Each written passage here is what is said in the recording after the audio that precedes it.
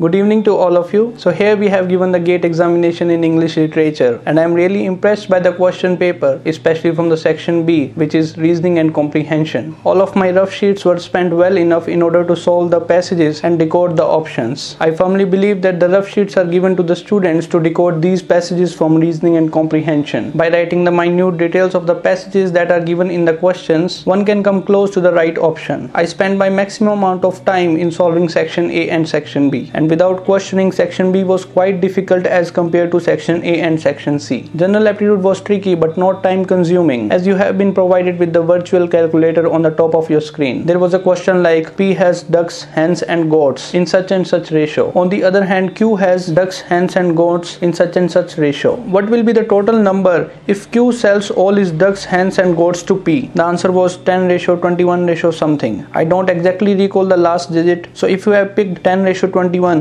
then you are right. Another question was P, Q, R, S, T were sitting in a row in no particular order. If Q and R have a space between them and Q cannot sit adjacent to S, then what will be the possible combinations? So this question was from permutation and combination that you might have studied in your 10th standard. But then again, you don't really need to apply any formula but your logic. So the answer of this question was 16. I know some students have marked 4 as the right option, but in reality, if you deep dive in this question, you will get the answer 16. Another question question was from puzzle and data interpretation. The question was that there are seven companies C1, C2, C3 up to C7 and total number of employees working here are 10,000. Among all these 10,000 officers, some officers hold MBA degree while some doesn't. So the question was how many officers hold MBA degree in C2 and C5. I don't exactly remember the right option but I think it was 1900. I'm not sure but let me know in the comments below if I am right or wrong. So section B reasoning and comprehension was difficult but section A general aptitude was easy. So coming on to section C of English literature for the very first time I really like reading the question paper not because it was easy or difficult but because unlike net examination they have not asked you the minor characters from Jane Austen or Charles Dickens. These questions tested your concepts rather than your memory. For instance they have not asked you who has written the essay can subaltern speak. Instead they have asked you the concept behind writing this essay. If you have read this essay well enough you will be able to understand what the question is talking about. So Gayatri Spivak has talked about that when someone else outside the subaltern group speaks for this group, then instead of generating the discourse of subaltern group, he forms a discourse for himself. She has given the example of Sati. Again, this example of Sati requires a little more explanation, which I cannot cover in this particular video. A few questions were directly asked from the topics that we have discussed in IIT mock test. If you have watched that video of mock test solutions and explanation, you could have easily figured out two to three questions in this particular exam. In our mock test, we have talked about Karukku, Modest Proposal by Jonathan Swift, Henry James, Stream of Consciousness, Dalit Panthers like Namdeo Dhasal, and a few more questions that are again repeated in this exam. So coming back, one mark question was quite easy. For example, they have asked you questions from Canterbury Tales or John Milton's Areopagitica where this work is written against suppression done by the England on freedom of speech and print. There was a question from Charles Dickens' Tale of Two Cities and another work which is of African writer Half a Yellow Sun. The background of all these novels have political uprising. I don't know why they have asked Aristotle Poetics in two mark question. Let me know in the comments below if I picked the right option which is Aristotle Poetics is written in support of mimesis. The question that was asked from translation studies was logical. They had asked you the questions from Paulo Coelho's translations. The same way they have asked you in IIT mock test that what is the meaning of untranslatable. Such questions does not require any memory but logic. There was a question from Jane Eyre and the pen name of the author was also asked. So it was also an easy question. No doubt the questions were easy, but multiple select questions made it difficult. It is really difficult to pick the right options from multiple select questions. One option wrong and we will not even get the marks for choosing the right option. I attempted 53 questions out of 65 questions and in multiple select questions I did some blind shots and took risk. Let's see how the result will go. The result will declare around 28th of Feb and now let's wait for the results. How was your exam? Was it tough or you too think that it was easy or moderate? Let me know in the comments below. I make sure to resolve all your query in the comments below. That's it for this video.